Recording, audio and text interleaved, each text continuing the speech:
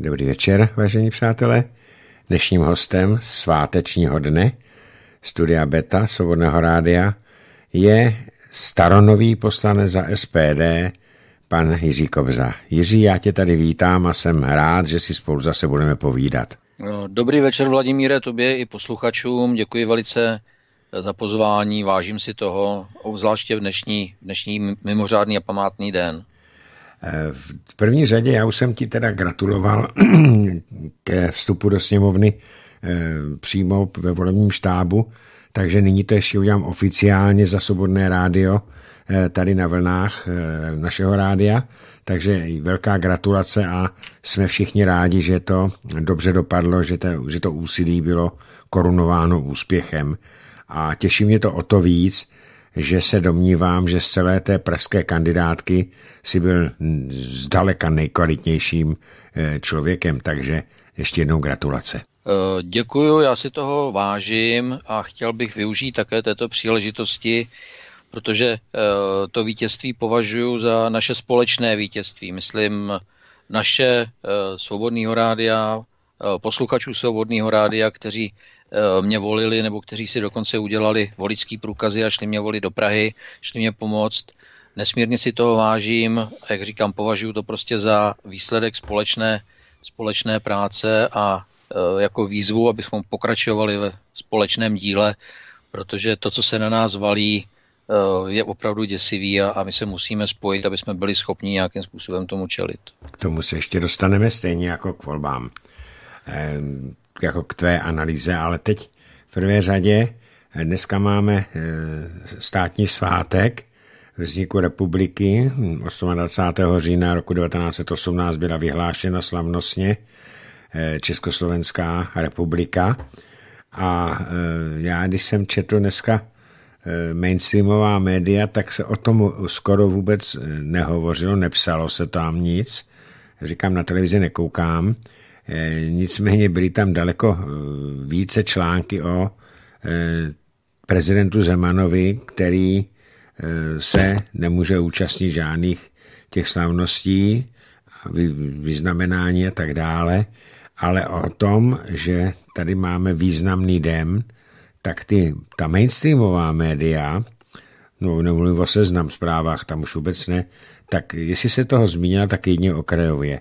Eh, já nevím, to si myslíš, že tito novináři už nectí, že jsme se po 300 letech, nebo více než 300 letech eh, područí Habsburků osamostatnili a vznikla samostatná Československá republika? Nebo proč se o tom nepíše, podle tebe? No, eh, ona je otázka, jestli ti, kteří se nazývají novináři, jsou novináři protože já si myslím, že drtivá většina jsou jenom obyčejní propagandisté. Hmm. A já jsem napsal uh, na svůj Facebook přednedávnem takovou připomínku, protože uh, bylo taky výročí Mnichova. Ano. Jo, a neštěkl po něm pes. Ani pes. Ano. Jo. A teďko právě 28. října já jsem se zúčastnil eh, té vzpomínkové akce v Míčovně Pražského hradu, kterou pořádal Svaz bojovníků za svobodu a kde vystoupil s velmi, eh, řekl bych, státnickým a realistickým eh, projevem bývalý prezident Klaus, který skutečně tam pojmenoval věci tak, jak, jak jsou, jak je vidím. Já jsem mu potom řekl, že bych podepsal každé slovo, které tam řekl. A tady je jeden takový zajímavý paradox, takového toho, já nevím, jestli to je ten Eurospeak zase, nebo taková ta zakrývací řeč, že jo, jak říkal Richelieu, hmm. Bůh mi dal slova, abych zakryl své myšlenky, protože já nevím, jestli jsi všimnul, ale, ale speciálně ti, kteří nás dlouhodobě a vytrvale se snaží připravit o zbytky naší státnosti a samostatnosti, tak teďko blábolej o Masarykovi a samostatném státu. Ano. Jako, to je, Paradox, to je tak neslíchaný, tak neslíchaný pokrytectví, hmm. tak, tak eh, řekl bych, tak šílený přetváření vlastně dějin, veřejného mínění, kdy se snaží prostě uh, otočit ten, ten vývoj, který tady byl po první světové válce. Jako to, to, to je opravdu, opravdu hrozný. Já jsem byl rád, že, že jsem byl na té na té akci. Tam po prezidentu Klausovi tam vystoupil náš europoslanec Ivan David a vystoupil tam taky předseda Slovenského svazu protifašistických bojovníků, pan Sečkár, a to bylo jako jenom, jenom tři, tři projevy a bylo to všechno upřené právě na vlastenectví, na připomenutí vlastně odkazu těch, kteří nám ten samostatný stát vlastně vybojovali. Protože to nebylo jenom jednání, která vedl Masaryk eh, ve Washingtonu, ale byli to taky legionáři, kteří bojovali eh, na Pijavě, kteří bojovali eh, v Rusku a kteří nějakým způsobem vlastně přispěli k tomu, že ten národ, v té době ne stát, ale národ začal být brán vážně. Já bych řekl, a ještě bych připomněl, že jsme byli tenkrát Čechoslováci ještě. Ano. A jenom si bych připomněl, že skoro největší podíl na tom vzniku Československé republiky měli legionáři francouzští, kteří byli přímém styku s eh, Tomášem Garikem Masarykem a kteří bojovali. Samo, samozřejmě, tam už potom můžeme spekulovat například o tom, co se stalo s ruským státním pokladem. Ano, ano. Existují o tom eh, různé, různé dohady. Já ano. jsem si o tom zmiňoval nějaké, nějaké ty, ale co je velmi, řeknu jednu věc, která mě zarazila, ať už to bylo s tím ruským sarským pokladem, který byl ohromný jakkoliv. Jakmile se ruští legionáři dostali domů, do, České, do Československa už tehdy, tak se zalogi, založila Legiobanka. Ano. A kde se brali peníze, nevím. No, nicméně, no komu? A komu? Nevím, nevím, nevím. A no. taky jsem se to nikdy nedozvěděl.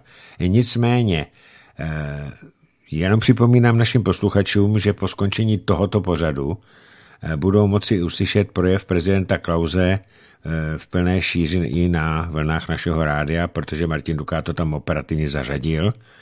Já jsem ho četl, ten projev, a eh, v psané formě a můžu říct, že stejně jako ty Jiří bych se podepsal pod každé slovo. A další věc, zeptám se tě, jestli pak někoho napadlo z těch současných politiků zeptat se na zdravotní stav prezidenta Zemana právě v dnešní slavnostní den, kdy on měl předávat ta vyznamenání, chce je předávat slavnostně eh, na nový rok, tak zeptal se někdo?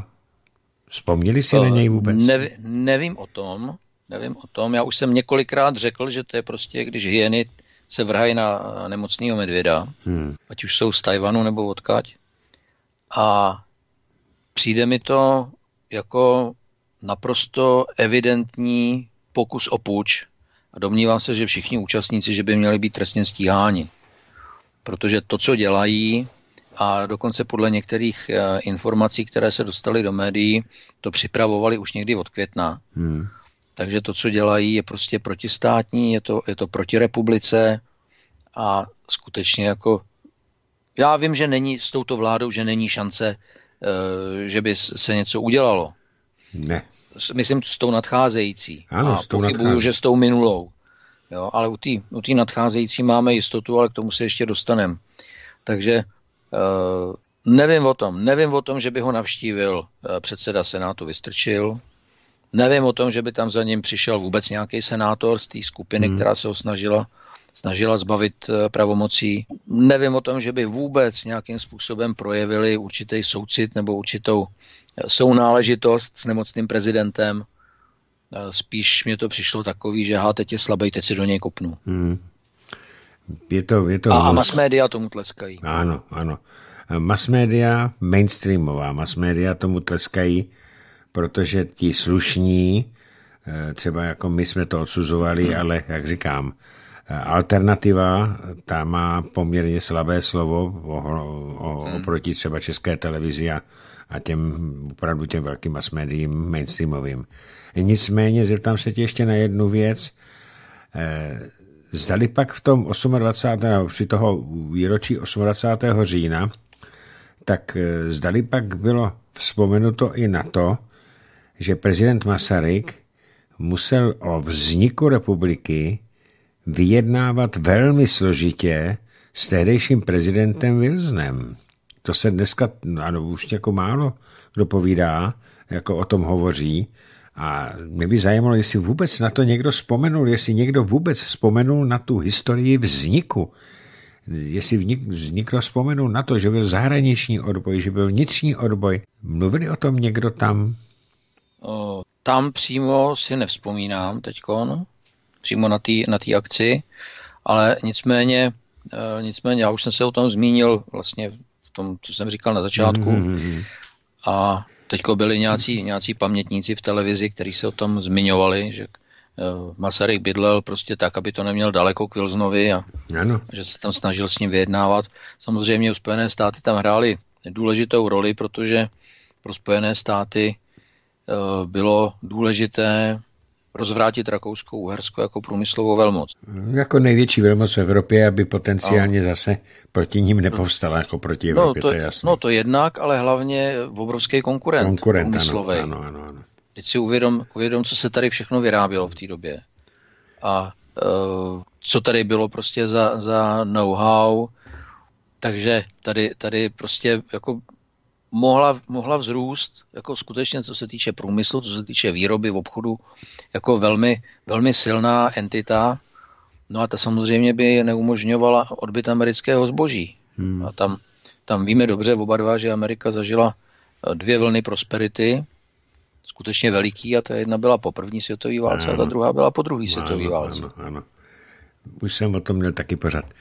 Eh, půjdeme teď k těm k, k volbám, protože eh, ty si toho byl přímý účastník a eh, v první řadě si byl skokan SPD. No a jak ty vnímáš výsledky těch voleb? Já totiž tvrdím, že někdy lidé říkají, že to je tragédie. Já si myslím, že to tragédie je. Ale na druhou stranu jsem přesvědčen, že tahle ta vláda, tenhle ten slepenec, maximálně do roka, teda ne takhle do roka, maximálně do dvou let se rozpadne a ta vláda skončí. Jak to vidíš? Uh, no, uh, pro mě ten výsledek byl zklamáním, protože jsem čekal, že skutečně jsme měli reálně našlápnuto na nějakých skoro až 15%. Ten, ten výsledek, kdy nevolitelný stan uh, chytrými triky na kandidátkách prakticky vygumoval uh, hmm, Piráty. Ano, ano. Ukazuje jenom prostě tu šílenou uh, nevyzrálost a neuchopitelnost Pirátů jako takových. Oni sami nevěděli, co s tím. A přesto všechno, ale to neohrozilo jejich ambice, protože se čtyřma poslancema chtějí tři ministry. Ano. Z, toho, z toho možná dva nový ještě si udělat. Hmm. A ty, ty volby, ten výsledek na jednu stranu postavil SPD do pozice, že budeme jediná reálná opozice. To znamená pro nás jako politicky, to znamená e, nějaké ukotvení, zviditelnění, e, nějakým způsobem e, můžeme dál pracovat. Na druhou stranu ten výsledek je pro nás natolik slabý, že to asi moc nezmůžeme. A tady právě je velká otázka vlastně to, čeho, o čem jsem mluvil horem, dolem, dokola, dokola. A to byly hlasy, které šly malým stranám. Jo, které některé byly nové, některé byly uh, už déle trvající, prohlašují se za vlastence, euroskeptiky, konzervativce. A když se k ním připočtou hlasy, které byly odevzdané pro KSČM, což uh, v tomto uh, případě jsou taky hlasy, které míří proti výprodeji české státní suverenity a jsou to hlasy proti vládě té, jak teď to bývá označováno bruselská pětka, hmm. a s polovinou hlasů, které získalo hnutí přísaha, což byly do určité míry některé hlasy voličů ANO a SPD z, ně, z, ně, z nejrůznějších důvodů, kteří hledali prostě jinou možnost. Jo? A polovina hlasů, které obdržela ČSSD, protože i ČSSD volí uh, hlavně lidi z konzervativně sociálního nebo zemanovského zaměření, tak jsme došli k číslu, a teď se podrž Vladimíre, 734 943 hlasů. Hmm. 735 tisíc zhruba, necelých. Ano, ano, ano. Jo. A to je zhruba 13,7% ze všech hlasů, které byly letos odevzdaný platných hmm, voličských hmm. No, jako obvodek. Takže pokud by aspoň polovičku z takto propadlých hlasů dostalo třeba SPD, tak jsme v nové sněmovně měli 39 mandátů. A protože některé ty mandáty by byly na úkor ANO, ale měli bychom s ANO dohromady 103 mandátů. Hmm. Takže mohlo být všechno jinak, kdyby. Jenomže v politice prostě kdyby neplatí. Ale já bych tady rád řekl ještě, ještě jednu věc, jo, co se týče těch malých, malých strán, které deklarují jako své cíle ochranu českých národních zájmů a tradičních hodnot a, a ochranu proti globalismu a Evropské unii a tak dále. Oni měli několik možností. Buď jít samostatně do těch voleb, což některé šly a to byly ty hlasy, které propadly a které vlastně dostali tu pětku tam, kde je. Nebo mohli překousnout svoje ego a podpořit nás, jako SPD, jako, jako nejsilnější parlamentní stranu, což některé také učinili, musím, musím říct. Ano, vím o dvou. A nebo, a nebo mohli udělat totéž jako ta pětka. Mohli se prostě udělat nějaký slepenec a vytvořit jeden volební blok. Jo, takže eh, v případě, že by takový blok eh, participoval na podpoře eh, SPD, tak samozřejmě by to mělo daleko větší, daleko větší efekt. Takže bohužel ti, co to měli vědět, anebo to věděli, anebo to nechtěli vědět, anebo to nechtěli vidět, tak za tento jejich politický avanturismus a řekl bych až sebestředné sobectví, tak musím říct, že nás, nemyslím nás SPD, ale nás jako český národ, tak to bude stát jako hodně draho. Na rozdíl od tebe já si nemyslím, že tato vláda nemá uh, šanci na dlouhý život, protože jsou tam všichni ti, kteří jsou tak natřepaní prostě na moc, tak, tak natřepaní na to, jak už se dostanou na, tě, na ty ministerstva a budou rozhodovat o těch penězích a budou uh, vypisovat zakázky a prostě budou konečně vládnout, že si určitě tenhle rybník nevypustějí. Ono... Oni se budou, budou se prát mezi sebou, budou, budou si dělat podrazy, bude, budou se točit v té vládě, to, to se dá předpokládat, ale nepustěj to do předčasných voleb. Protože vědějí, že stanaři by se tam nedostali. Protože zase teď už jsou Piráti chytřejší, takže by s nima do Holportu nešli. Je dost možný, že by se tam nedostala ani Topka a KDU, který se tam vyšplhali po zádech ODS. Hmm. Jo? Takže uh, vědí, že prostě by to mohla být pro mnohé z nich konečná, stejně jako byly letošní volby konečná pro KSČM a pro ČSSD. A určitě, určitě se budou, budou zuby nechty bránit předčasným volbám. To já vím.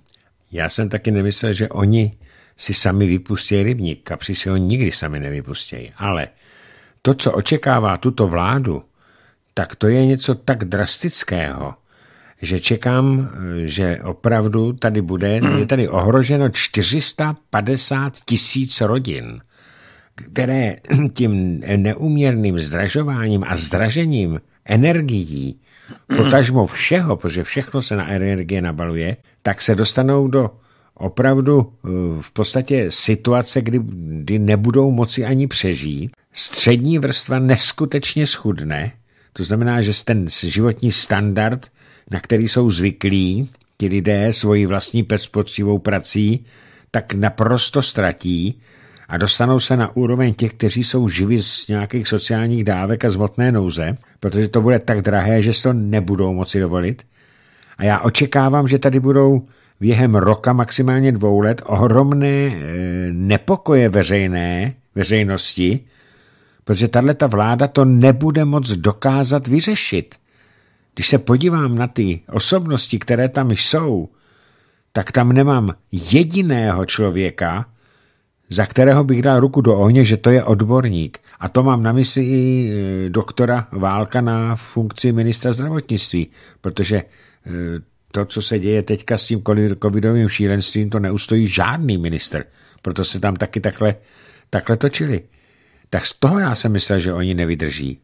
Protože lidi už toho budou mít plný zuby. Vladimíre, eh, já si zase dovolím se na to podívat trošku z jiného úhlu. Po zkušenostech s touto vládou, která vždycky, když měla nějaký problémy, tak si prostě půjčila víc peněz, někomu přidala. A jak říká Feldkurát Kac, to se nám to debužíruje, když nám hmm. lidi půjčujou. Jo? Tak stejným způsobem oni prostě prožírají ten dluh. A já jsem přesvědčený, že stejným způsobem půjde i tato vláda když se bude cokoliv dít špatně, tak si prostě napučují ještě víc peněz, protože pořád ještě mají dva roky do té do dluhové brzdy, hmm. když budou muset mít volební, ne, vyrovnaný rozpočet, no tak uh, můžou tu sekeru zatnout, zatnout hodně hluboko. Tady fakt je ten ale, ještě já bych chtěl říct jednu věc, že celý to šílenství okolo covidu, to prostě, já to, já to spatřuju jako, jako takovou zástěru nad tím, co se tady doopravdy děje. Hmm. Jo, protože, podívej se, eh, v západní Evropě se zavírají elektrárny. Evropa ani Německo už není schopná, na rozdíl třeba od Maďarska, si vyjednat nějakou dlouhodobě výhodnou smlouvu na dodávky ruského plynu. A u nás naprosto šílené, zaslepené protiruské provokace nabývají na, inze, na intenzitě. Hmm. Jo. E, otázkou je, jestli vůbec bude čím topit v zimě. Jo? A nebo jestli nová ministrině obrany naleští naše čtyři pandury prostě a vyrazí na Moskvu. To, to prostě jako tady sebe nesmyslnější uh, věci se stávají pravděpodobnýma. Ty, ty zelené zákony současně, jak nebude to pivo, tak nebude plyn třeba, tak současně omezují přístup občanů k teplu, protože chtějí zakázat topení pevnými palivy i dřevem. Ano. Jo? A zima je na krk. Jo? Stát před volbama sice přidal na důchodech, Jo? To bylo stejné jako s těma platama. Si odsouhlasili snížení platů a Senát uh, počkal, až skončí mandát hmm. sněmovny, aby ho nemohla přehlasovat a pak to schodil ze stolu. Ano, ano. Jo? Takže před volbama stát slíbil eh, přidat důchodům, důchodcům, no ale v zápětí státní banka uvolnila inflaci a teď kolítá inflace podle nějakých informací mezi 5 a 8 procenty, takže ty přídavky hravě srovná. A Evropská unie snižuje výrazně počet emisních povolenek na trhu a tím rozpoutala nekontrolovatelný růst jejich ceny a umožnila obrovské zisky spekulantů. Mm. Jo? A ty drahé povolenky opět povedou k růstu cen elektřiny a růstu všeho, kdo prostě topí ať už elektřinou, anebo topí čímkoliv. Každý pekář, prostě každý, každý krematorium, každá, každá fabrička prostě budou muset krvavě platit a samozřejmě se to promítne do cen. Jo? Takže, takže ty stále dražší emisní povolenky způsobí výrazný růst cen nejenom energií a elektřiny a plynu, ale taky pohoných hmot a prakticky všeho. všeho, všeho. A občan to, občan to celý má zaplatit. A takže teďko otázka je, jak se mluví o tom, jako kdy, kdy přijde první blackout, tak já říkám, že otázkou je, jestli ten blackout bude centrální, anebo prostě lidi budou odpojovaný od elektřiny, protože nebudou mít čím to zaplatit. A Tohle to celé se přikrývá covidem a senátním pokusem o protiprezidentský půjč, aby byla odvedena pozornost lidí od chudoby, kterou na nás chystají eh, ještě před volbama. Jo? A tady je zapotřebí jasně a nahlas, hodně nahlas. Bez našeho členství v Evropské unii by tohle nebylo možné. Ale s vládou, která se na nás chystá, právě i díky tomu milionu skoro propadlých hlasů, tak prostě není cesty ven. Jo. Máš naprostou pravdu. My můžeme mít klidný svědomí, Vladimíre, protože my jsme varovali. Ano, já jsem a varoval, budeme, ty, ty a budeme, varoval, budeme bojovat prostě i s tím málem, málem, co máme k dispozici. Nám nic jiného nezbývá. Ale uvědom si třeba jednu věc. My se řítíme do krize a premiérem bude politolog. Hmm. Místo, aby tam dali ekonoma. A jediný rozumný ekonom, který tam je v ODS, je pan Skopeček. Hmm a z toho chtějí udělat místo předsedu sněmovny. Hmm. Takže on, on místo, aby použil tu svoji expertízu a ten svůj rozhled, který má v ekonomice, bude říkat, ty budeš mluvit, ty ne. Ano. ano. jo? Rozumíš, hmm. prostě to, to, to, jako, já bych tlouk hlavou do zdi, když to vidím. Hmm. Ale ono se jedná, eh, takhle, my jsme nevěd, říkali celou, celé poslední čtyři roky, že vláda Andreje Babiše nebyla žádná pravá Vořechová. Nicméně on taky les do té e, eurounijní řiti ale on přitom eh, v podstatě se mu ježili vlasy na hlavě, takže mu to lezení do té řiti jak, šlo jaksi pomalu, když to tato vláda, ta použije lubrikant, aby tam byla co nejdřív a rychle. Takže to bude zkratka. Ale ať byla Babišova vláda, nebo stále ještě je, ale ať byla jakákoliv, tak ctila poměrné zastoupení rozdělení funkcí ve sněmovně a ve výborech. Tihleti. to je vidět, že právě Fiala měl pozici místo předsedy, který na ní v podstatě neměl nárok. Ano. A tady ta vláda se s nikým bavit nebude. Samozřejmě 73 poslanců nebo 72 poslanců, nebo kolik má teďka, ano, tak eh, to vemou v potaz. Ale když vezmeme jednotlivé strany, tak třetí nejsilnější strana nebude mít vůbec nic. To znamená, že ano. budete totálně odříznutí od informací. Co to je za demokracii tohleto? Ale demokratický Vladimír je přece jenom to, co se jim hodí. Ano, přesně tak. Tohle to není demokratická vláda, všechny keci o demokracii jsou lži a oni budou vládnout z pozice síly jako diktátoři. Víš, co je paradox? Pekarová už prostě vyhlašuje velkohubě, že s extrémistama nepočítají a že extremistům nic nedají. Ano. To máme být jako, což mě přijde při tomhle prohlášení, jako přijde mi až zavádějící, že říká o nás, že jsme extrémisti. Jo, přitom podívej se na ní, co, hmm. co, co dělá. A to, že jsme extrémisti, tím se odvolává na zprávu ministerstva vnitra, která se odvolává na nějakou zprávu od BISky, kde ovšem ředitel BISky popřel, že by tam vůbec nějaká zmínka o nás byla, že to není v jejich kompetenci ani. Já vím, by nás říká, takhle označovali. Mluvili jo? jsme o tom tady s Radkem Kotenem dost podobně. No, takže je to, je to zase smyšlený a je to jenom prostě záminka, jenom, jenom zase kouš nad vodama. Protože samozřejmě pro Topku a, a KDU a Piráty a Stán, tak my jsme zásadní ideologičtí, až, řekl bych, až třídní nepřátelé. Ale není to na trestní oznámení proti paní Pekarové podle Hamáčkova předsudečné nenávisti? Protože jestliže tady je jasně protokolárně zjištěno a tam eh, na tom jednání toho bezpečnostního výboru tam se to zaneslo určitě do toho, do toho zápisu, že ředitel Bisky Koudelka řekl, že žádná taková zpráva a nic takového v té výroční zprávě nebylo.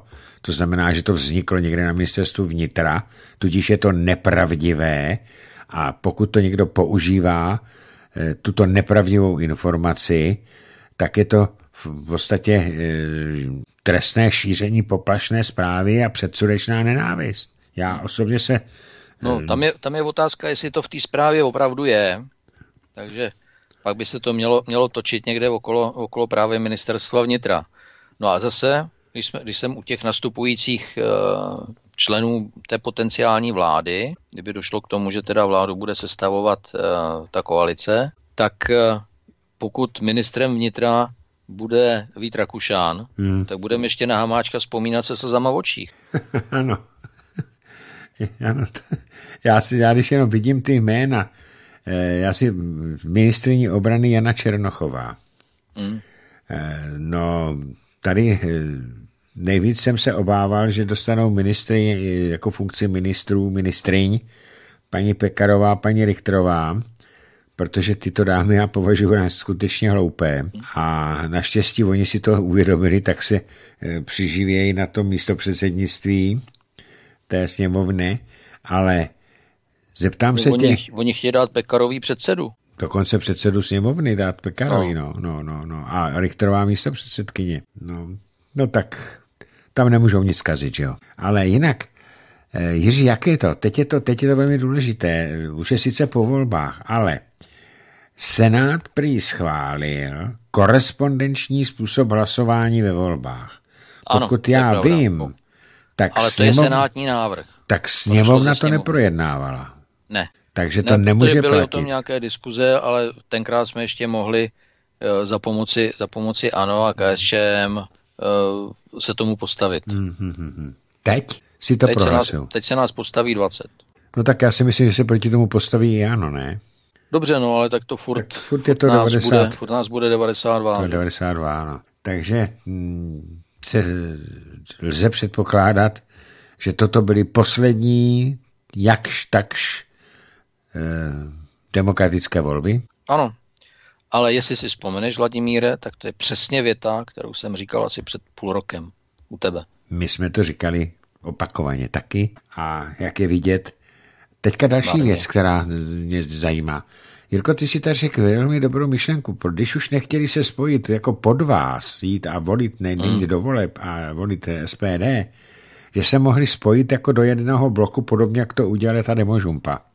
Mm. A když se podíváš na ty vůdčí osobnosti jednotlivých těchto těch malých stran, mm. tak zjistíš, že tam jsou psychopatické osobnosti, kterým vůbec de facto nezáleží na vývoji a na, na osudu republiky, ale oni se tím chtěli jenom zviditelnit a doufali v 1,5% a ve státní peníze.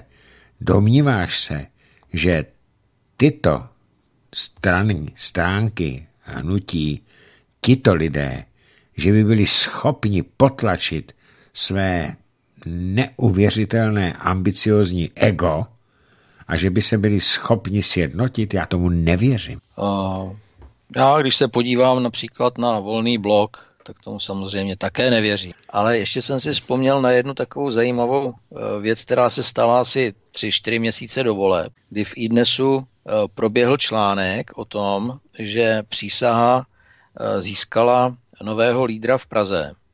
Hmm. Že poslanec Kobza, který ho nestaví na kandidátku SPD, tak se dal přísaze. To jsem nezaregistroval. Já jako říkám na svou čest, že se mnou nikdo nejednal, nikdo mi to ani nenabídnul. Ano. A i kdyby to nabídnul, tak bych to stejně nevzal. Ale uh, ten daný moment jako to bylo docela zajímavý. A když jsme potom dělali, eh, dělali s kolegou Tomášem Doležalem uh, podrobnější analýzu vlastně výsledků voleb ano. a dívali jsme se na výsledky přísahy, tak uh, Tomáš povídal člověče, ty kdyby si k ním šel, tak si do té sněmovny dostal. Hmm. Já si myslím, jo? že ano. ano, ano. S, těma, s těma hlasama, který, hmm. který šli za mnou, protože uh, já myslím, že mám do, hodně příznivců i mimo Prahu, mimo, mimo středočeský kraj a bylo to takový jako, jako celkem zajímavý, no, protože jemu tam toho moc, moc nechybělo. Ale uh, přísaha je, řekl bych, poněkud specifický případ. Když se podíváme na ty ostatní, ostatní malé strany, které eh, se snažili zalovit v našich voličích, zalovili ve voličích eh, KSČM, ČSSD, ano, a takový, ale souhlasím s tebou, drtivá většina z nich, protože jsme je zkoušeli oslovit, zkoušeli hmm. jsme je na to přesvědčit, drtivá většina z nich prostě jako na to neslyší. Je to ne. přesně, jak říkáš, oni měli před očima, sice měli v minulých volbách 0,13, hmm. teď měli 0,17, ale prostě furt si říkal, že to stojí za to to zkusit, co kdyby tam ty 1,5% konečně, konečně padlo. Ano, ano, ano. Ale přitom jsou to strany, o kterých ví jejich 60 příznivců a jejich rodin. Ale to je všechno, protože oni nevyvíjejí žádnou činnost, oni nedělají, nedělají nějakou uh, akci mezi, akce mezi lidma, ne, ne, nepublikujou jejich lidi, jo, prostě, no, jsou to, jsou jako, to... jako když, chceš, když chceš dělat politiku, tak politika je pro lidi a pokud jako s těma lidma nemluvíš, Jo, proto já jsem, já jsem řekl, že, že já jdu z kůží na trh, že jo? Mě hmm. prostě lidi někteří nadávají, někteří mě chválej, ale já považuji za svou povinnost prostě je vyslechnout, jo? protože si myslím, že je to nutný a, a taky nechci se dostat do té situace takových těch uh, poslanců, co prostě pro ně život končí v oknama z parlamentního bufetu. No, také zajímavé, že i poslanci SPD, kteří se nedostali Eh, do sněmovny a v světlou výjimkou budíš mu čest a sláva je Jarda Holík, se kterým jsem mluvil a on eh, to nesl naprosto, hm, řekl bych, fatalisticky. On říkal, chtěl jsem uspět, neuspěl jsem, ale život se přece kvůli tomu nezhroutí. Hmm. Takže dál je SPDákem, dál bude pracovat pro SPD a to je takový postoj, kterého já si neustá, ne, neuvěřitelně cením. Na druhou stranu jsou poslanci jako pan Kohoutek, eh, který už teď eh, na SPD nenechá nic suchou a prohlásil, že po volbách okamžitě vystoupí. No to jsou ty zhrzení, že jo? Hmm, ale s tím asi nic nenaděláme. My jsme kdysi měli takovou partu střeleckou, bylo nás tam 12. A aby jsme mohli fungovat, tak jsme se museli zaregistrovat jako spolek. Hmm. Jsme se mohli zaregistrovat jako spolek, tak někdo musel být předseda, někdo pokladník, ano, někdo revizor, já někdo, já nevím, tam bylo asi 8 funkcí, které jsme hmm. museli obsadit. Hele, já jsem některý lidi za týden nepoznal. A to jsem je znal, já nevím, 20 let předtím. A on jak dostal tu funkci, naprosto bezvýznamný partě lidí, hmm. jo, která, funkci, která mu nic nepřinášela, funkci, která jako byla opravdu jenom formální, tak on dokonale zblbnul. Ano. ano. Jo. A prostě t- jako chápu, že pro některý lidi tohle to musí být skutečně jako těžký, protože on se na to upne a je víc upnutý na tu funkci, než na to, proč to vlastně dělá, nebo proč by to měl dělat. Že, že my jsme tady proto, aby jsme něco zastavili, jsme tady proto, aby jsme chránili tenhle stát, aby jsme, abych se mohl podívat do očí svým dětem. Jo? Ale, ale nejsme, tady, nejsme tady proto, abych uh, si říkal, já mám funkci, já jsem někdo extra. No. Jo? Dám si chlebíček teď k bufetu. Jo. Eh, Jako, jako nezlob se, že to říkám takhle, Ne, takhle je to- natvrdo, je to- ale je mě to- to samozřejmě taky šte, protože já jsem idealista tady v tom. Já to dělám kvůli ideji, já to dělám kvůli tomu, že to cítím jako svoji zodpovědnost, jako svoji povinnost jo, tady, tady to dělat. A samozřejmě eh, ne všichni mě chválej. Jo, když to vemu takhle, tak z deseti mě osm lidí vynadá a dva mě pochválej. Hmm, hmm, hmm. Jo. Ale prostě dělám to, protože si myslím, že se to musí udělat. A že jsi přesvědčený, že děláš správnou věc. Ano.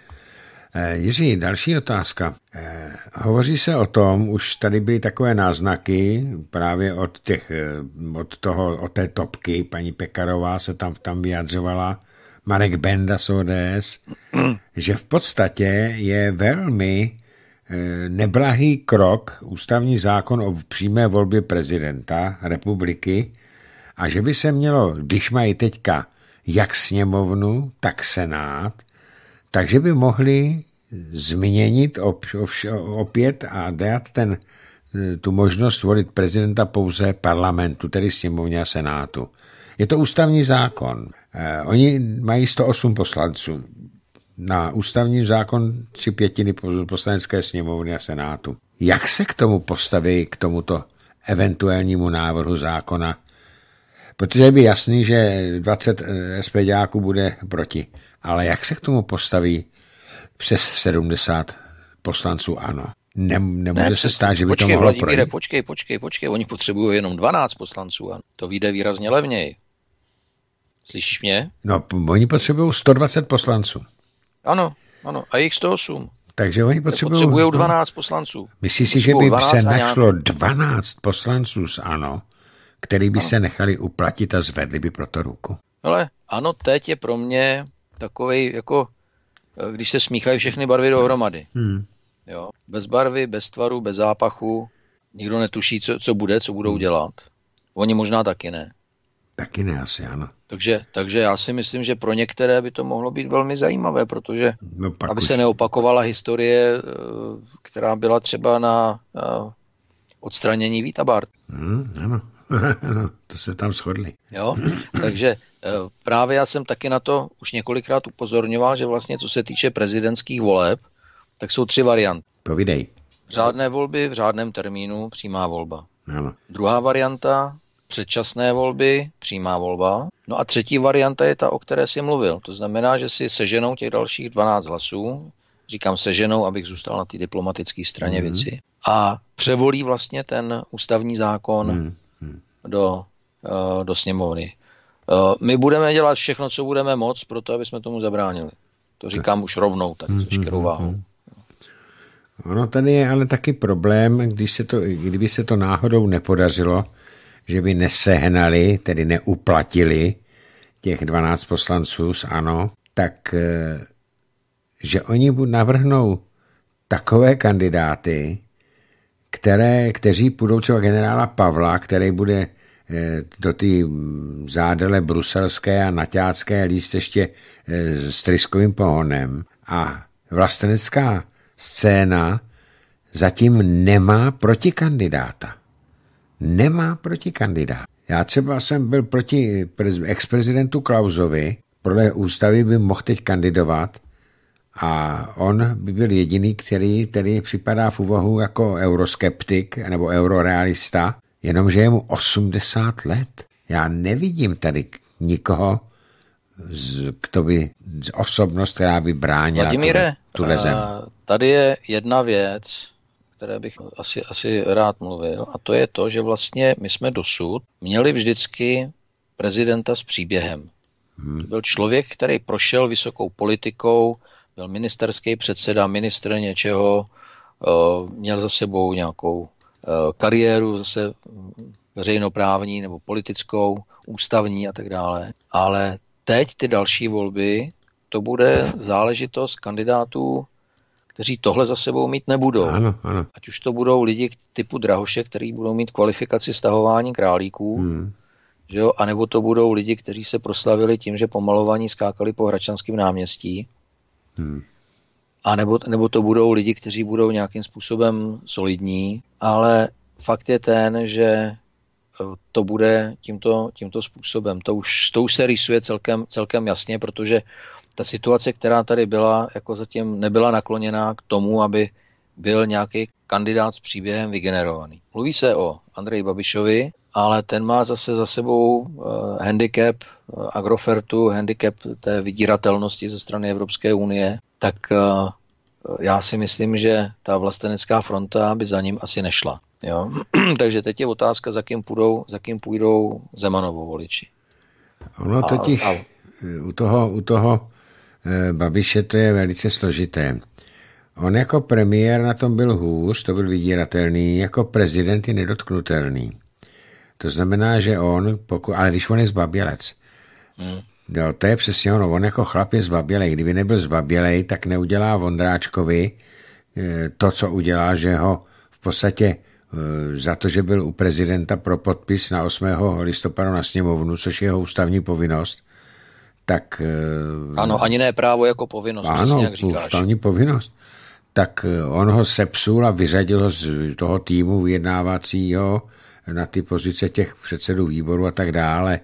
No, protože podle k tomu, tomu řvaní těch médií a těchto těch sluníčkářů ano, statečný ano. chlap by se zatvrdil a stál by si za svým člověkem. Jo, a on ne, u mě to... praštil pěstí do stolu no jistě. a poslali do háje všechny, No přesně jo? tak a já si myslím, a taky jsem to už řekl, že tím, že poslal pana Vondráčka, kterého já považuji za jednoho z nejslušnějších lidí v ANO, tak eh, žádný skandál, nic ne, tam nebylo, tak si Babiš prohrál prezidentský volby, protože teď už mu lidi věřit nebudou.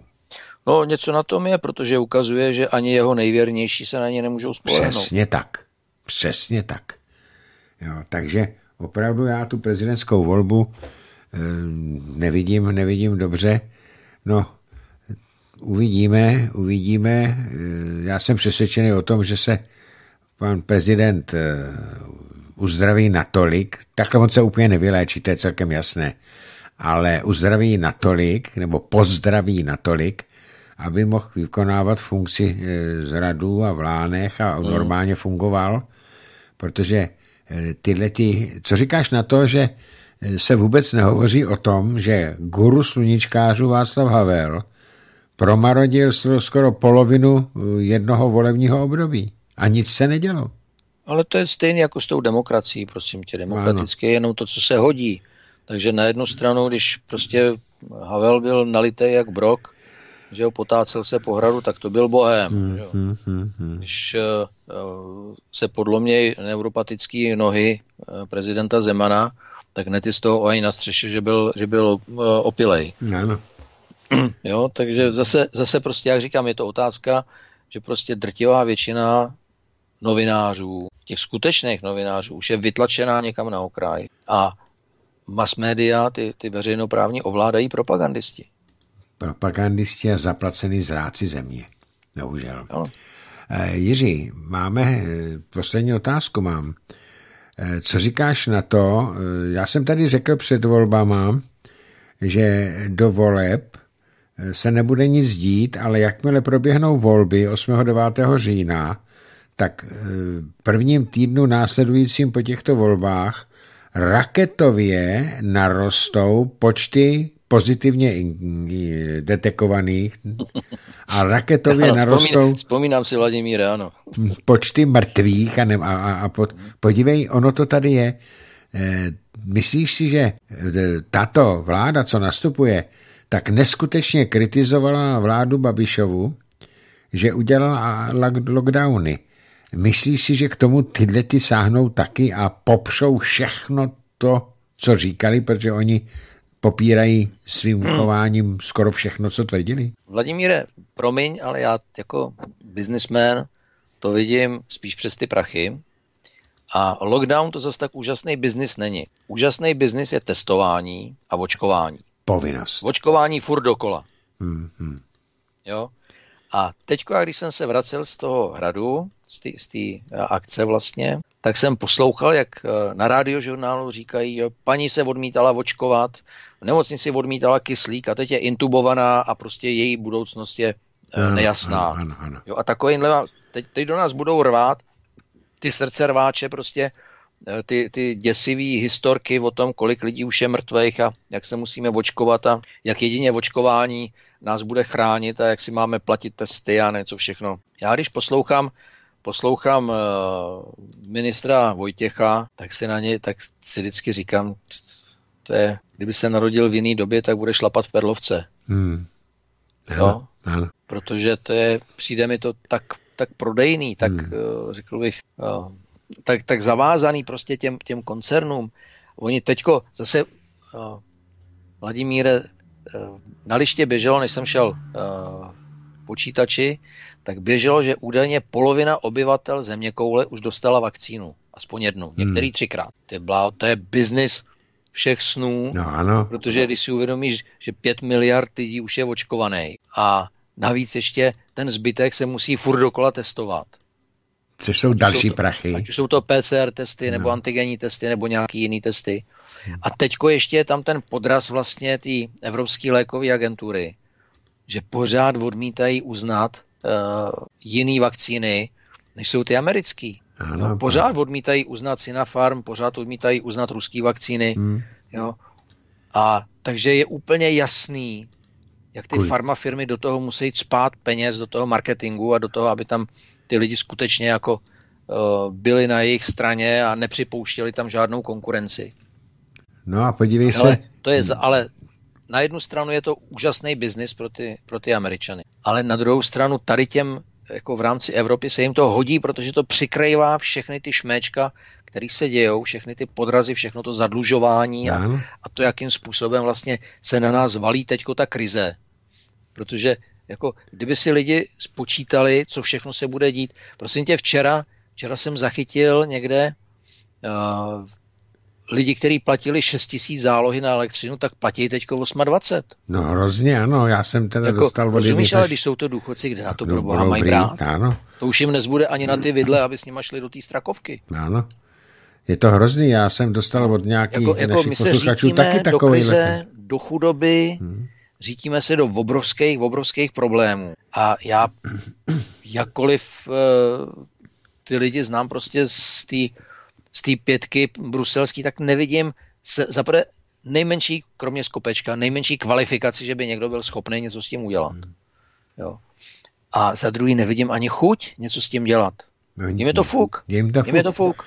A právě proto, jen si vzpomeň, jak a ještě to zabalej do nějakých keců o, o záchraně e, před klimatickými změnami. Změnama, ano, to jsou, to, tomu už nikdo nevěří. Ale jen si vzpomeň, já ještě k tomu bych připo... Halo? No, povídej. Jo, tadyhle, tadyhle někdo něco poslal. Ne, jenom, že byl u nás Timmermans na Evropském výboru hmm. a přednášel právě tu zelenou sebevraždu. Hmm, hmm. No a tam Piráti, ty se mu tam lísali k němu, jak to je úžasný, jak konečně se zbavíme toho CO2 a takovýhle, že jo, topka to samý. Jo, pak vystoupil Skopeček, ekonom z Odesky a říká, ale já si myslím, že to je příliš ambiciozní plán, my na to nebudeme mít. A Češ Timmermans říkal, to nevadí, my vydáme zelené evropské dluhopisy a z těchto vyfinancujeme. Rozumíš, to zase, zase jsou dluhopisy, za který budeme ručit my Všichni. a oni budou rozhodovat, na kterou kravinu mm, prostě, mm. já se omlouvám, už jsem se zase naštval, za kterou kravinu prostě to budeme utrácet. Jo, teď to je do nebe volající. Je. A jak ve mně bouchly, bouchly saze, tak jak jsem to měl před sebou, celý ten jejich plán, to, ten Green Deal, tak jsem to normálně šlehnul přes stůl před něj a povídám, ten váš plán je naprosto nepodložený, nevědecký, aktivistický a strašně nebezpečný a nemá vůbec nic společného prostě s jakoukoliv obranou, protože uh, planeta ta má, ta prodělává klimatické změny od doby, kdy vznikla. Mm Jo, největší klimatická změna byla před pěti miliardama let, když přestala být žhavá a vychladla. Ano.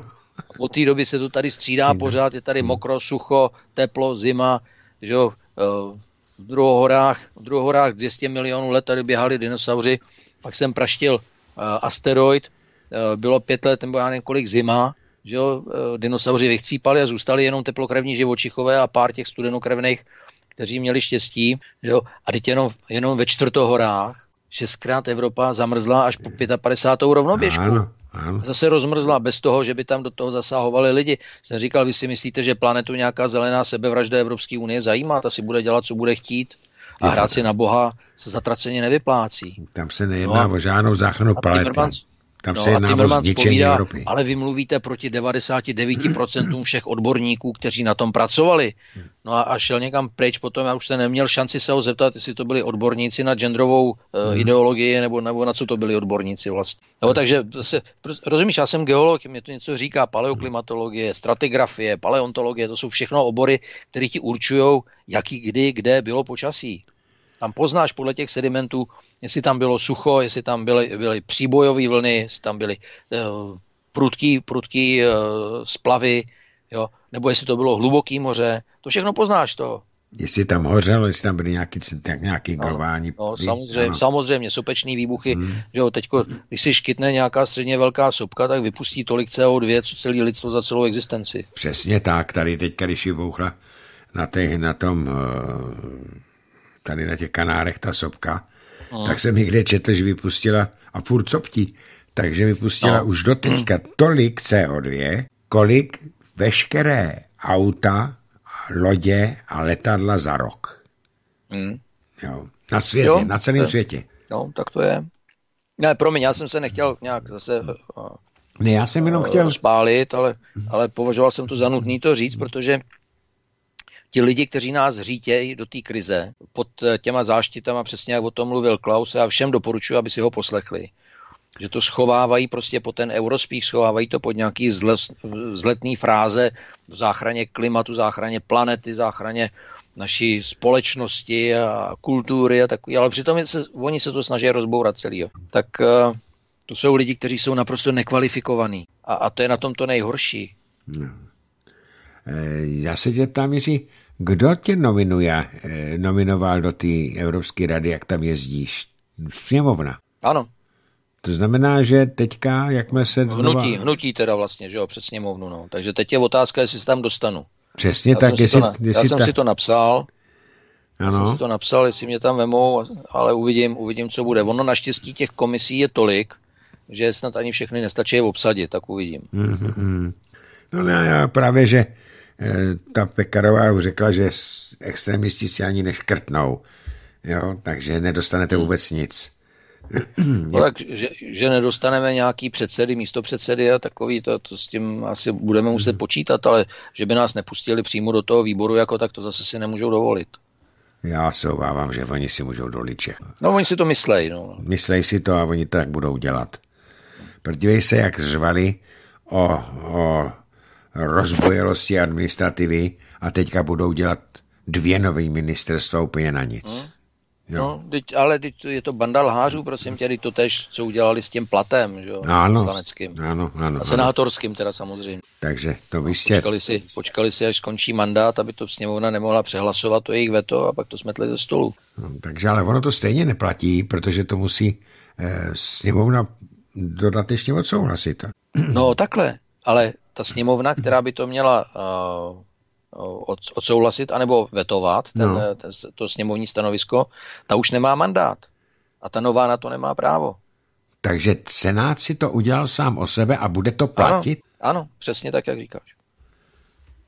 Já jsem si myslel, že jestliže se to neprojednalo v, sen, v tom volebním období, takže se to přesouvá do dalšího volebního období. No. Kde pak, ale my jsme teďko, teďko dělali uh, tu akci, že jsme vlastně návrhy zákonů, které nám zůstaly vyset v těch třech zákonech, který sněmovna neprojednávala, protože projednávala furt nějaký, nějaký komise k Bečvě a komise o hybridních hrozbách a já nevím co všechno, co se tam vždycky navymýšleli. No. Jo, místo, aby pracovali. Tak uh, jsme to museli posílat znova do systému, aby to tam bylo. Aby, to... aby se to tam dostalo vůbec na pořad těch, těch schůzí. Tak to je podle mě teda to já jsem netušil, já jsem opravdu myslel, že ten senátní návrh musí projít sněmovnou. A jestli ta sněmovna... Jo, ale v řádném období. Oni využili toho, že se to lámalo prostě ten mandát. No, tak... Teďko 20. skončil mandát no. a vlastně nová, nová bude mít mandát, když se ustanoví, hmm. až se ustanoví. To znamená, že my příští volby, pokud by to teda tato sněmovna ne, ne, nezabalila, pokud se nerozpadla, pokud se nepohádali jako psy, tak příští volby budou korespondenční. Sakra. No, a jsme, víš kde. A jsme tam. Vážení no. přátelé, je to špatný. Eh, na, na závěr první hodiny.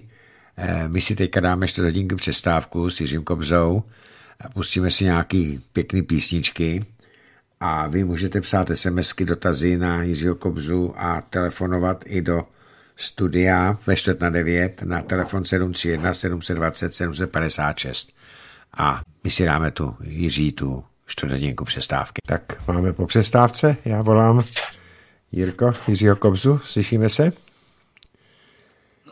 Moment, běžím. Už jsem tu. Tak ještě jednou vítej, dobrý večer. Dobrý večer tobě i posluchačům. Jiří, ještě mě zajímala jedna otázka, než dám prostor eh, SMS-kám.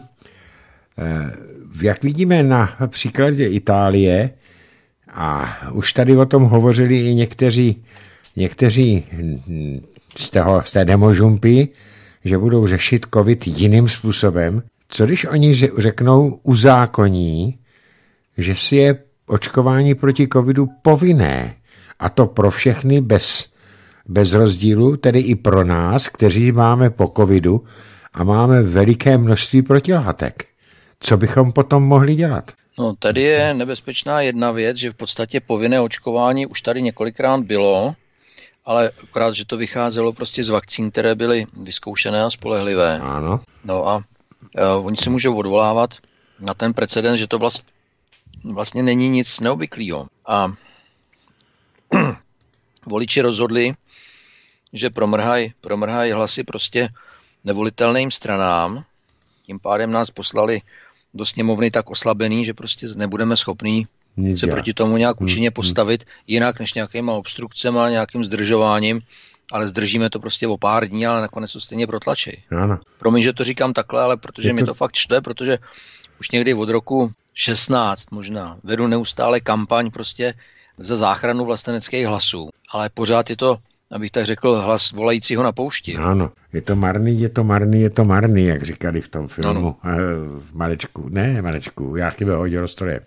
Mm, ano. No, takže je to to, takže oni nám to můžou teda zákonem nařídit. I když na druhou stranu existuje nějaký výnos Rady Evropy, eh, to číslo si nepamatuju, ale Sonja Zikmundová ho ví, kde se říká, že, dobro, že očkování musí být v Evropské unii dobrovolné.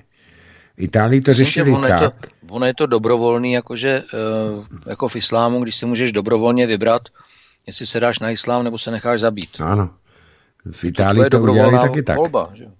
Itálii nenutí lidi očkovat, ale ty, kteří nejsou očkovaný, nesmí chodit do práce a nesmějí, nesmějí vůbec nic. Ano. Nesmějí vůbec nic, jo. takže v podstatě těm lidem nic nezbývá.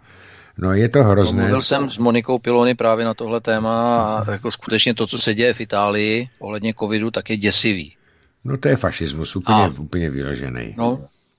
No. A nejenom to, já jsem si dneska přečetl, že v Itálii proti tomu covid pasu stávkují do, do, do karský přišli hmm. podpořit 40 tisíc lidí, sedli si na zem a protestovali, drželi papíry, že to proti tomu protestujou.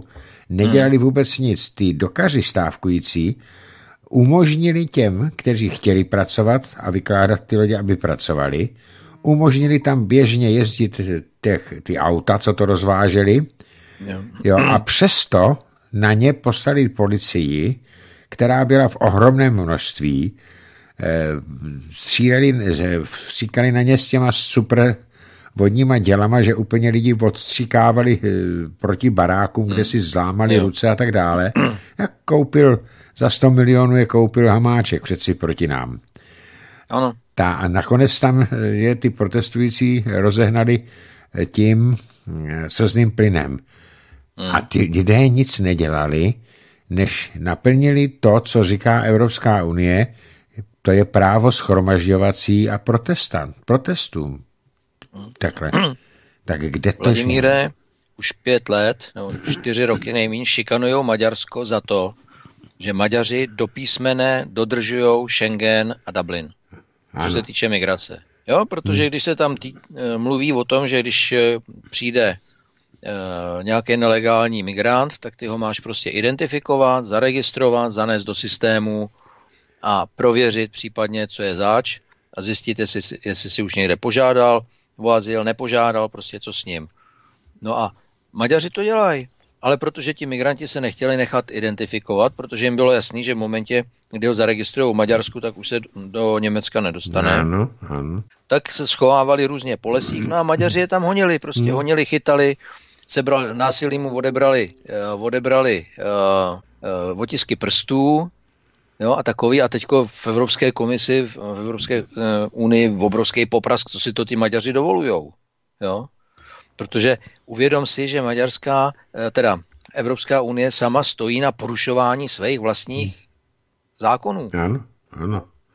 No a teďka jsem se dočetl dneska, že eh, kvůli tomu dolu Turov už by měli platit no. pokutu Poláci, ale ne nám, který nám tady berou vodu, ale Evropské unii, Evropské komisi a navíc, že ještě teďka jim dali další kvůli soudům, Eh, milion no. eur denně.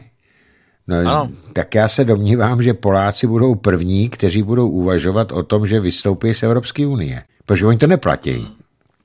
No, eh, mně maďarská pozice vůči, eh, teda pol, polská pozice ano. vůči maďarské unii silně připomíná, a ty si to možná budeš pamatovat, maďarskou pozici vůči RVHP a Varšavské smlouvě. No, jistě. Jo? Ano. Kdy Eh, na rozdíl od nás, kdy jsme zase prostě v 68. Eh, řvali, že chceme odejít z Varšavské smlouvy a, a nechceme RVHP a nechceme tamhle to, tohleto, tak Maďaři říkali, ne, my chceme Varšavskou smlouvu, jsme připraveni a RVHP je to nejlepší, mm. ale dělali něco úplně jiného, ale potichu, mm. nežvaně, nežvaněli o tom. Jo?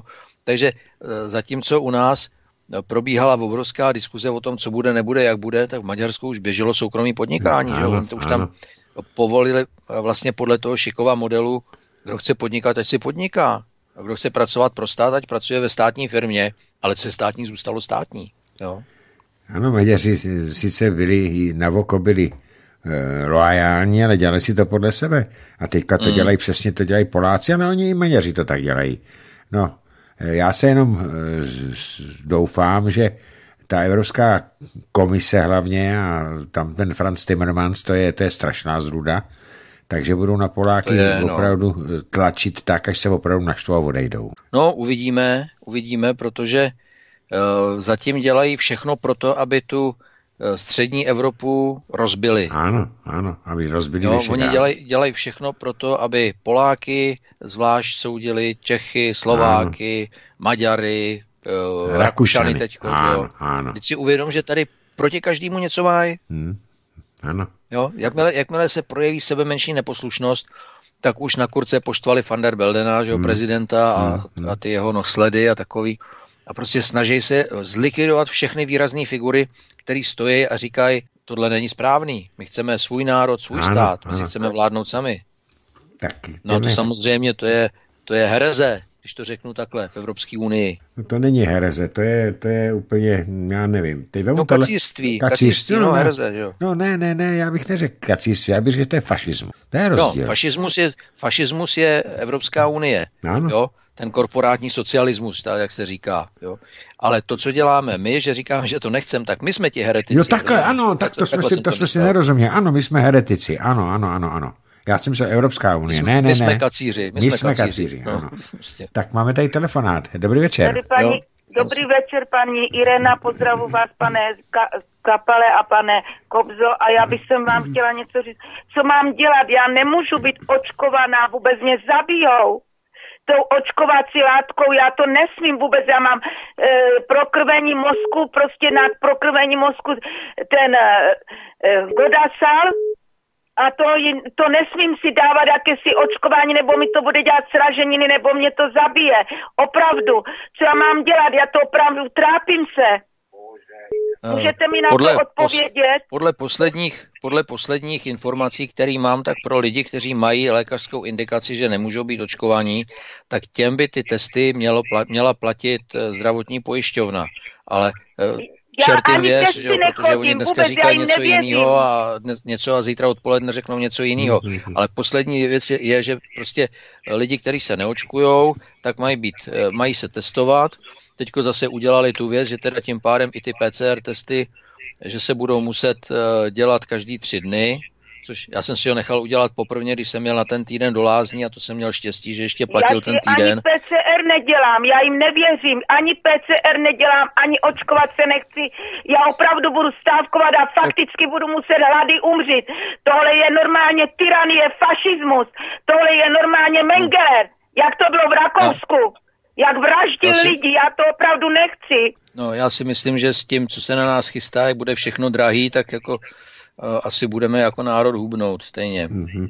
Jinak... No, ale, eh, ale pokud... opravdu teď, teď asi nezbude nic jiného, než tohle to řešit se svým ošetřujícím lékařem. Přesně tak, By vám dal nějaký, nějaký papír na to, že no, prostě no, nemůžete být očkovaná. tady, co se nesmí a... nutit očkovat, já to no. mám aj schovaný ten papír. No tak vlastně... Že to nesmí, že to je protizákonné. Ta, takhle, pokud vám napíše lékař papír, že by vás jakýkoliv to očkování mohlo ohrozit na životě, tak očkována nebudete.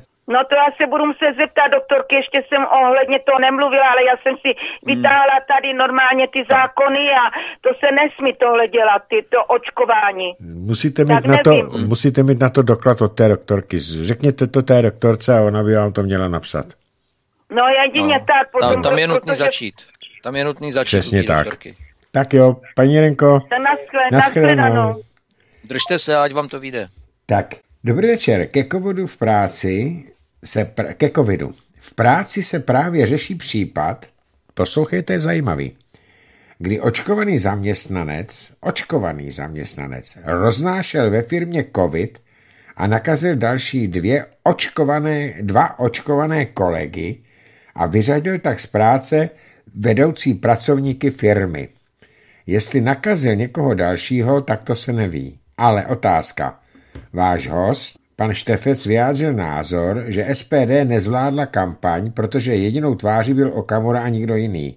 Dále se nedokázal spojit se šlachtou, což by prý bylo ideální spojenec. Co na to pan Kobza, Jiří? Eh, pane Jiří, eh, pan Štefec měl ten názor, já nejsem zvyklý se hádat, můj názor je všeobecně známý, já jsem šlachtovou přísahu považoval za eh, čistě účelovou, policejskou, bývalou policejskou partaj, eh, která, kdyby se tam dostala, tak by s vlastenectvím měla asi tolik společného jako já s jadernou fyzikou. Tak a teď Jiří ty. Tak eh, já si taky myslím, že zrovna s přísahou, že jsme toho měli hodně málo společného, protože jsou základní pilíře programu SPD.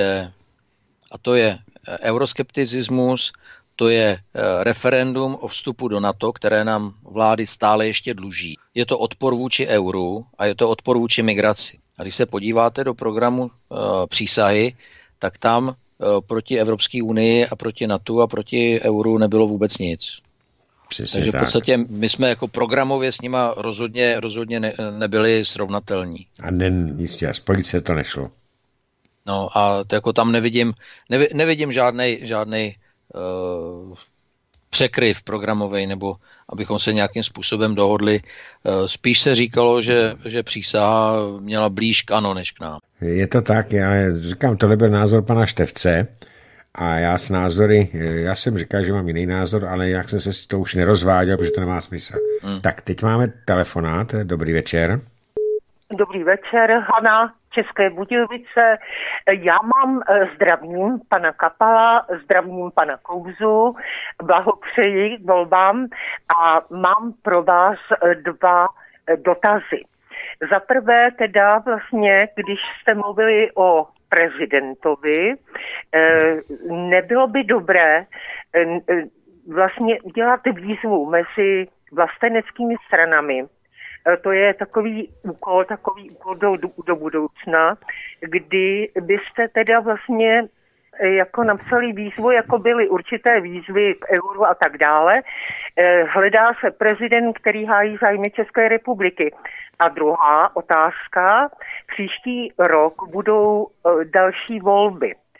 A chtěla jsem se zeptat pana Kobzy, jakým způsobem bude SPD vlastně monitorovat krajské lídry k tomu, aby jsme byli ve volbách úspěšnější, Děkuji za odpověď. Naschledanou. Naschledanou. Tak, Jiří. To je strašně těžká otázka. To je strašně těžká otázka, protože já nejsem ani v předsednictvu celostátním, že já jsem vlastně, já jsem předsedou, no byl jsem předsedou eh, Prahy 10, protože teď je eh, pražská organizace eh, po tom volebním výsledku v vozovkách je zrušená, bude se, bude se celá překonstruovávat znova. A Eh, jakým způsobem vlastně bude eh, organizovaná ta komunální kampaň, tak k tomu opravdu nemám, nemám informace. Teď v tento moment to se všechno teprve bude řešit a nás teď čeká volební konference, kde se bude převolovat předsednictvo, protože končí tříletý mandát předsednictva. No a, to nový předsednictvo potom bude muset přijít s nějakou strategií, s nějakou taktikou, s nějakou metodikou, vlastně nějakým způsobem tu kampaň budou chtít vést, ale teď tento moment já na to nemám odpověď. Já bych jenom paní Haně eh, doporučil, protože tady okolo desátého, nevím přesně kdy bude, máme domluveno, že tady bude Tomio Okamura, tak eh, se zeptat přímo Tomia Okamury, který by k tomu měl vědět víc informací, protože on je u toho zdroje všeho, že jo, jako předseda hnutí. No. Ano. Já to taky nevím. Tak a ta druhá otázka tam byla, ne, ne, nepamatuju si teď. To je no, právě, no, teď, teď, teď taky nevím. To jedna, je právě to, že se, když, se pokládají, když se pokládají dvě otázky, tak je to velmi špatné, protože my okamžitě zapomeneme. Jsme starší lidé, jo. to je těžký, no. tak jdeme teda dál. Tak se omlouvám, když tak. Já taky. Eh, dobrý den, pane Kobzo, mám dotaz. Pokud budou odebrány Miloši Zemanovi prezidentské pravomoci, jak dlouho může tento stav trvat? Nemůže to být až do konce řádného volebního období? S pozdravem Mirek se ptá. Tak Jirko? No, tak musím se přiznat, že, že tohle nevím. Tak tohle já... nevím, já bojuju proti tomu, aby mu ty pravomoci byly odebrány, protože to považuji za pokus o senátní půjč a o pokus o neoprávněné odebrání prezidentských pravomocí prezidentovi. A zatím, zatím prostě bojuju tímto způsobem, protože jako považuji prostě to, co se děje kolem prezidenta za neskutečnou nechutnost ze strany senátorů, který se toho zúčastní, i, i těch mediálních uh, propagandistů, kteří tomu dávají prostor v médiích a kteří se snaží už 8 let vlastně kopat do prezidenta, jo, protože je to zvláštní, ale za první republiky, kterou se teď všichni vohánějí, tak byl paragraf ochrana, ochrana eh, cti prezidenta, nebo nějak takhle prostě se to jmenovalo. Nebo ochrana cti hlavy státu. Jako všichni ti, co si kopou do toho prezidenta, už měli dávno sedět hmm. podle tohoto zákona. Jo. Takže zase vidíš, jaký je to pokrytectví, že prostě na jednu stranu se ohánějí Masarykem první republikou, ale na druhou stranu kopou do našeho prezidenta.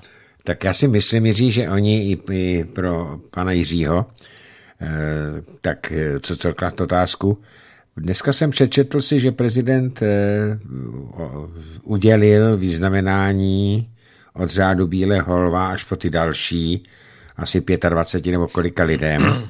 A pokud já, to vím, takhle, já jsem tam měl taky návrh. Pokud to tam takhle napsali, prošel. prošel no, no. Tak, Prosím? Plukovníka Schneberga. Ano, ano, ano, ten tam byl taky napsaný, dostal, ano. ano. Aby dostal, dostal medaili za chrabrost, kterou ano. se zaslouží teda. Tak eh, tam musí existovat, eh, figurovat na tom podpis prezidenta na těch jmenovacích dekretech a jestli to už bylo v mainstreamu, tak prezident to podepsal, tudíž je naprosto eh, zřejmé, že pravomoci prezidenta i v nemocnici vykonávat může. Tak hmm. já se domnívám a pevně tomu věřím, že ten pokus o palácový převrat takže se těm eh, hyenám ze Senátu nepodaří. No to já doufám taky a budu proto dělat, co budu moct, aby neuspěli. Přesně tak. Oni už mě takhle nemají rádi, tak já jsem tím nemám co pokazit, popravdě řečeno. Tak a teďka tady mám další dotaz a to je opravdu eh, dotaz, eh, prosím, Co říkáte na ustanovení klubu koalic ve, sněmo, ne, ve sněmovně? Je to tak správně? Já jenom odkazuji na výnos právníka Házenkopfa, který při studiu, studiu toho jednacího řádu, to je zákon, tak tam e, tvrdí, že ty jednotlivé strany toho slepence, koalic, koalic, tak e, že nemají nárok na poslanecký klub. Tak jak to vidíš ty a jak to asi dopadne? Takhle, já musím říct a netajím se s tím, že uh, celá ta akce uh, s koalicema do voleb, celou tu akci považuji za podvod na voličích. Ano. Protože uh, nemu, neumím si pochopit, jak, jak, nemůžu pochopit, jak někdo může volit uh, koalici, kde na jedné straně je topka, která chce manželství pro všechny například, a na druhé straně je KDU, který vyznává tradiční rodinu. Tak jako koho volej ty lidi? kteří je volili. Jo? A co se týče těch klubů jako takových, tak to na to navazuje samozřejmě, protože v zákoně nic o koalicích a klubech není. A v momentě, kdy oni projdou do sněmovny jako koalice a pak si budou chtít dělat svoje vlastní kluby, tak by ty kluby měly mít podle těch partají, ale ty kluby nebudou mít přednostní práva. Hmm, hmm, hmm. To, je, to je pokud si dobře pamatuju jako, jako z jednacího řádu. Takže myslím si, že by to takhle mělo, mělo dopadnout. Ovšem fakt je ten, že teď mají takovou sílu díky, díky zase těm propadlým hlasům, že si můžou prohlasovat prostě změnu Co? jednacího řádu. Přesně tak, ano.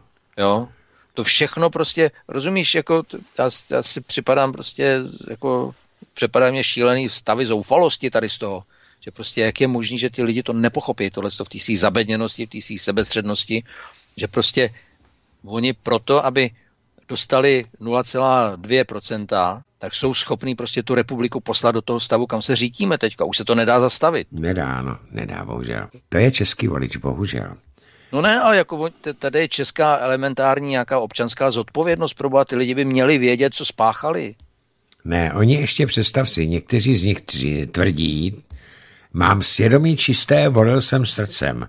A to neříkají lidi, to říkají lidi i opravdu vzdělaní a přesto jim nedochází, že tím, že volili srdcem a nevolili rozumem, protože musí volit srdcem i rozumem, tak mm. že tuhle tu republiku dostali tam, kde se teďka nachází, to znamená až No úplně celá je v té jsou, euro, Jsou zodpovědní za všechno, co se tady stane ty Přesně tak. Roky, rozumíš? Přesně a to tak. musíme říct. To musí zaznít. Ano. Já vím, protože já o tom píšu horem dolem a všichni mě nadávají, že je to vina SPD, že se nechtělo spojovat a takový. Je to jako SPD nemůže za elementární selský zdravý rozum pro Boha.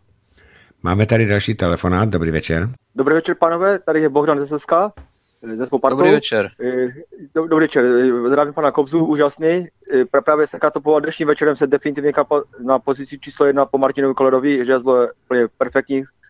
Ze vším se týká souhlasíme ty poslední dety a chtěli jsme, jako, že úplně, a je to taky vidět, vidět, že máš ty mladé, malé děti, že, že má za co bojovat. A že, strašně jsem s ním spokojený, jako, jak perfektně mluví. A děkuji pane Kapale, že ho tam hezky zvete, bylo to perfektní. A to je vždycky kabrňák. A já jsem se ho zeptat jenom na, na taky, že kdyby, hypoteticky, kdyby jsme měli 40% mělo SPD, udělalo by konečně pořádek jako, jako Orbán v Maďarsku, tady v té republice, a co by se stalo, kdyby jsme nepřijavovali ty, ty zákony, zkrátka ty nařízení té Evropské unie, co by nám udělali? Poslali by tady armádu? Ne. Že, že, že to je jenom přesně, že to je přesně, je, že to je přesně já vám, o, těch, o těch politikách. Já vám děkuji za tuhle no, otázku. o těch politicích. Tak budeme Proto... poslouchat a, je to, eh, a ještě jednou gratuluju a doufám, že budete ve vedení, protože SPD je od pravicového Kobzy a Fialy až po perfektního Degbarovcího Baštu a pana Davida. Takže tam je velký záběr pro všech, každý se najde a vystupujete jedním hlasem. Doufám, že to mě ještě prozře a více to bude jako to je náš místr, e, stínový místr třeba z vnitra, e, zahraničí a bude to více prezentovat. Byli jste fakt perfektní. No a jinak děkuji, perfektní večer, dám další prostor, další budeme poslouchat. Víte se krásně. Díky, dobrou noc. Já, já děkuji do Slezska, protože Slezsko je oblast, kterou já jsem miloval, protože jsem tam jezdil, jezdil jako 20-letý student, jsem tam jezdil na trampy vždycky v létě, takže to tam mám prochozený, prochozený hodně, hodně jako důkladně a skutečně se mi tam líbilo. A vím, že jsou tam, je tam spousta dobrých lidí a, a jako krásný kraj.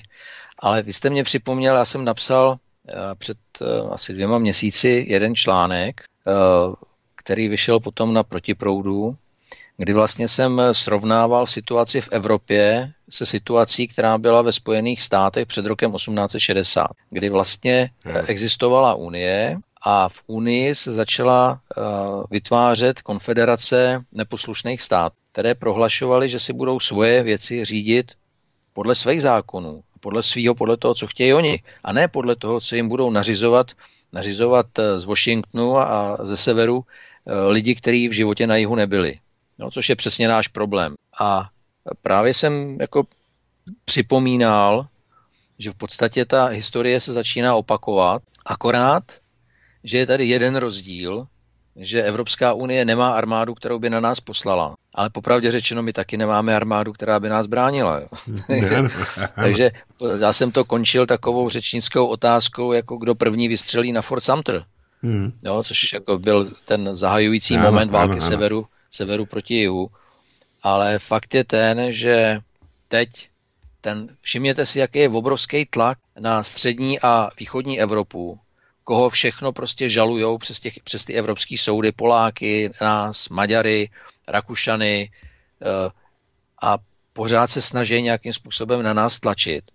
Ale nechápou jednu věc, jako my, my nejsme anglosaský národ, který, když prostě na něj zatlačí, tak srazejí kufry a sklopí hlavu. My jsme Slovani, my když na nás tlačí, prostě tak neposloucháme, tak si děláme věci podle svýho a když přijde nejhůř, tak se perem. A já si myslím, že ten tlak, který je vyloženě orientovaný směrem na východ, protože nevím, že by někdo tlačil na Němce, třeba, že by někdo žaloval, nebo na Holandiany, nebo na Francouze, tak eh, je čistě, čistě účelový právě proto, aby zabránili vytvoření té konfederace vlastně těch středoevropských států, kteří by začali najednou říkat, jako eh, my si nechceme nechat diktovat, my chceme spolupracovat, ale chceme spolupracovat na základě vzájemné výhodnosti. Ne, že budeme živit nějaký šílený aparát lidí, kteří nám budou nařizovat, jako co máme dělat, který tady v životě nebyli u nás. My nechceme živit aparát, který umožňuje zahraničním korporacím, aby to tady drancovali a odsávali zisky do zahraničí. My chceme si řídit věci podle svého, aby firmy, které tady u nás vydělávají, aby museli reinvestovat část zisku tady ve prospěch, ve prospěch nás, což je v podstatě to samé, co říkal co říkal i prezident Klaus dneska na Pražském hradě. A chceme, aby my jsme si řídili svoji bezpečnost, svoji zahraniční politiku, svoji obchodní politiku a svoji monetární politiku taky. Jo? Žádný euro, my chceme korunu si nechat. No a, a to, je, to je přesně ono, co se tenkrát dělo jo, ve Spojených státech a, a v podstatě, jak se ta historie opakuje, no tak teď se to překulilo k nám a my, my musíme vyvinout maximální úsilí k tomu, abychom našli společnou řeč uh, i s těma stranama, které jsou na naší straně, ať už je to FPE v Rakousku, nebo AFD v Německu, nebo, nebo uh, Liga. Víte dobře, že v Itálii teď začíná soud se Salvínem, kterému hrozí 15 let za to, za to, že tam nepustil tu loď. A ku podivu té kapitánce, která tam málem potopila při tu pobřežní stráž, která za to měla dostat 20 let, tak to, to je, je celebrita teďko, rozumíte? Ano, a dokonce i vyznamenali. Vzhůru nohama, prostě ten, mm-hmm. ten, ten, ta právní, ten právní stát jako takovej uh, dostává neskutečně na frak. Mm.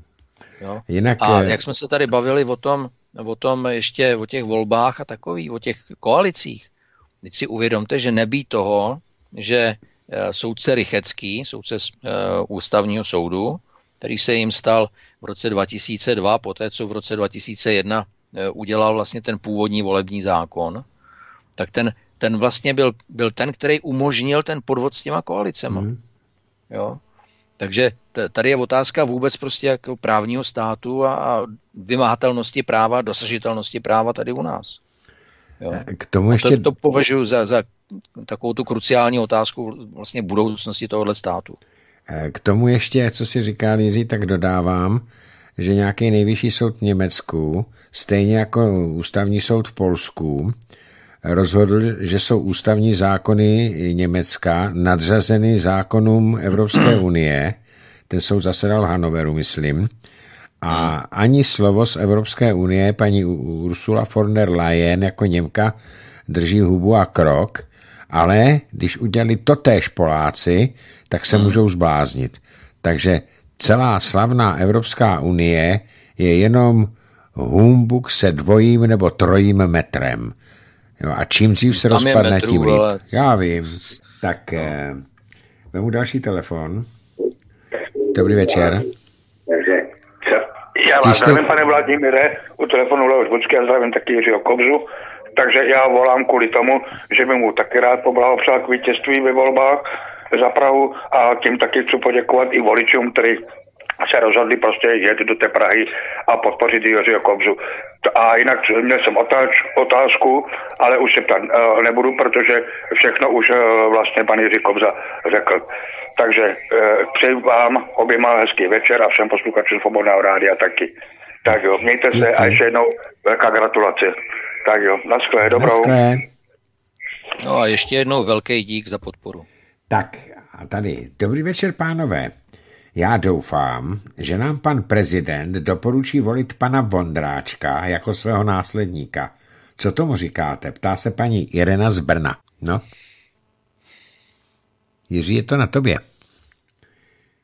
No, eh, já pana Vondráčka celkem uznávám, protože si myslím, že to je slušný člověk a, a nevím o tom, že by udělal někdy nějaký, nějaký podraz nebo něco takového. A celkem jako mě bylo líto, eh, co, co, co s ním udělal teda eh, premiér. Hmm, mě taky. Takže, takže nevím, jako fakt je, že tu sněmovnu vedl dobře. Jo. Bylo by dobrý, kdyby tam byl znovu. Hmm, bylo by to, ale co kdyby se rozhodl třeba hnutí Ano, že ho bude nominovat na na prezidenta, do kandidá, na kandidaturu, já si myslím, že to by byl vhodný kandidát, který by měl docela šanci. Ale no, nevím... myslíš, myslíš, že by to byl kandidát, za kterým by šli voliči, hmm. kteří volili Miloše Zemana? No, to, to nevím.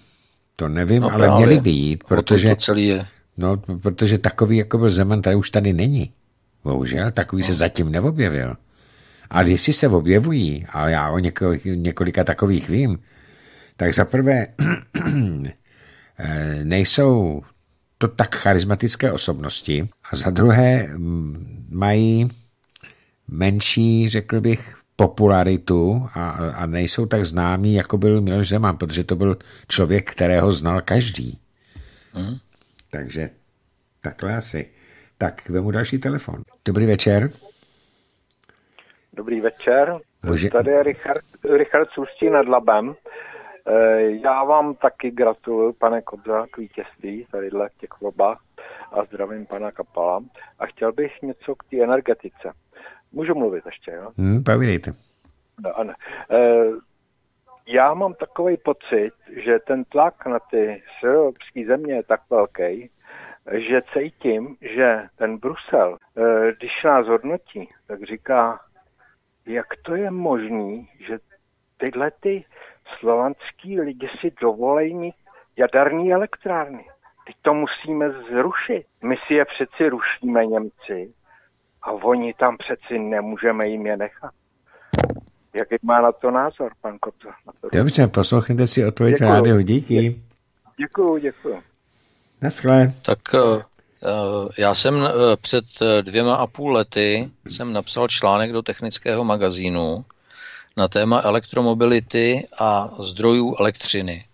Protože už tenkrát mě bylo jasné, že na jedné straně nám vypínají elektrárny a na druhou stranu chtějí všechno elektrifikovat. A výsledek, protože jsem z biznesu, tak výsledek je jasný, protože ta cena elektřiny bude prostě stoupat a stoupat a stoupat. Takže na konci všeho toho snažení, úžasného ekologického blábolení o tom, jak se zachrání prostě planeta, když eh, se přestane jezdit na spalovací motory, tak eh, bude ten, že prostě elektromobil si budete moct akorát tak leštit v garáži, protože nebudete mít na to, abyste si ho nabil. A oni totiž taky, eh, ti ekologové úžasně ještě nevyřešili dvě zásadní otázky. První je, jak státy vyřeší propad inkasa spotřební daně na benzínu a na naftě a promítnout to nějakým způsobem do, to, do té elektřiny, protože někde už nabití elektromobilu je dražší než na tankování. Hmm. A druhá věc je, jak zareaguje biosféra, když se sníží obsah CO2 v atmosféře, že jo? protože to naruší ten koloběh z fotosyntézy. Ano, jo? přesně tak. A co se týče atomových elektráren nebo jaderných elektráren, tak uh, já už rok a půl vedu, vedu diskuzi v parlamentu s ministrem Havlíčkem a s ministriní Šilerovou s tím, že se snažím poukázat, že kdokoliv zatím jednal s Westinghousem, tak blbě dopad. Hm. On totiž, on totiž Westinghouse uh, má takový zajímavý precedens tady ve východní Evropě, v Bulharsku, uh, a je to jejich jaderná elektrárna Kozloduj. V roce 10 uh, Bulhaři podepsali s Atomstrojexportem, což byl předchůdce Rosatomu, podepsali kontrakt na dostavbu bloku, dvou bloků a Našlápli na ně američani, takže oni v 11. roce tu vypověděli tu smlouvu, pak dalších pět let vyjednávali s Westinghousem a v roce 2015 Westinghouse bankrotoval. On tenkrát patřil Toshibě japonské, no a Toshiba ho prodala prodala kanadským brokerům, což nebyla žádná energetická firma, ale byli to prostě finančníci, kteří, jestli si pamatujete na ten film Pretty Lady, mm, mm. takže který prostě kupovali zbankrotované firmy, roztrhali je na kusy, po částech prodali, vydělali na tom prostě a šli dál. Jo? Mm. A takže výsledkem toho všeho, té, jak se řekne, obedience, té poslušnosti, vlastně bulharské vůči, vůči Američanům bylo to, že Bulharům zbyly jenom oči pro pláč místo, místo dostavby té jaderky a taky 600 milionů eur, které museli zaplatit Atomstroje Exportu za vypovězení té smlouvy. Hmm. Druhý příklad je uh, jaderná elektrárna v Maďarsku v Pakši, kde uh, 2000 MW reaktory staví uh, Rosatom na základě smlouvy, kterou si uh, vyloboval a vybojoval Orbán, mistrovský politik. A už je zajímavý to, že jejich rozpočet je o třetinu menší než rozpočet, který uváděl ministr Hlaváček na dostavbu Dukovan, hmm. na ty dva reaktory, které měly mít taky 1000 MW. A mají rozpočet 12,6 miliardy eur a z těch 12,6 miliardy 10 miliard dostávají jako uh, mezivládní úvěr z Ruska, což při uh, tom, že Rosatom je státní firma, tak v podstatě to je takový takový kontrakt všech snů, protože ta firma nemůže zbankrotovat. Jo? Když má za zády státní banku hmm. a ještě, ještě má přislíbený úvěr 10 miliard. A z těch eh, z té celé sumy, z těch 12,6, 40%, eh, což je nějakých, já nevím, 5 miliard odhadem, eh, má přijít jako maďar, do maďarského průmyslu, co mají dodávat Maďaři. Což je asi tak maximum, co jsou schopni dodat. Takže to je naprosto úžasný kontrakt, který mají.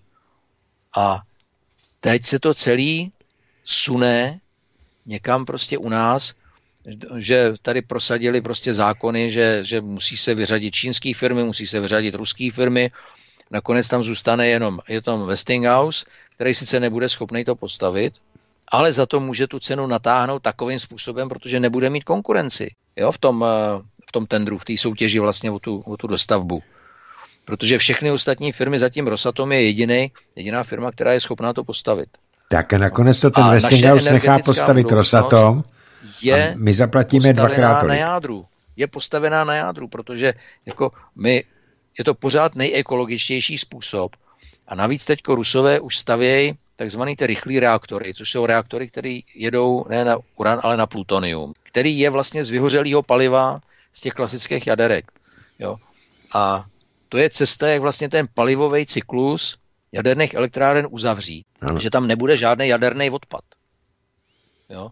Takže tam není odpad, nejsou tam žádné emise a jsou to záležitosti, které prostě fungují 50 let, 60 let. A jako Česká republika, protože, jak jsem říkal na začátku, ta cena elektřiny prostě poletí raketově nahoru, tak v momentě, kdyby se nám podařilo dostavit dva bloky do Dukovan a dva bloky do Temelína, tak Česká republika se stane energetickým hegemonem střední Evropy.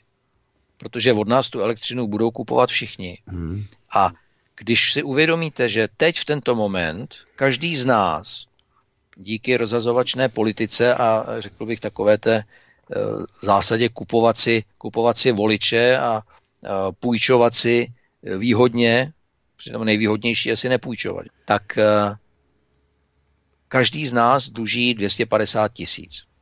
Jestli projde ten rozpočet, který teď je, tak už je šance, že to bude 290 tisíc, včetně mimin, včetně starých lidí, prostě každý z nás, protože teď dlužíme 2,5 bilionu a v momentě, kdybychom byli tím energetickým hegemonem střední Evropy, tak ČES, a já bych se velmi přikláněl k tomu, aby se stal stoprocentně státní firmou, tak ČES by byl výborný zdroj k tomu, abychom mohli splácet nejenom úroky z těch půjček šílených, ale abychom spláceli i tu jistinu, protože hmm. trend je, abychom byli tak zadlužení, že to nebudeme schopni splatit a pořád budeme splácet jenom úrok. Jo?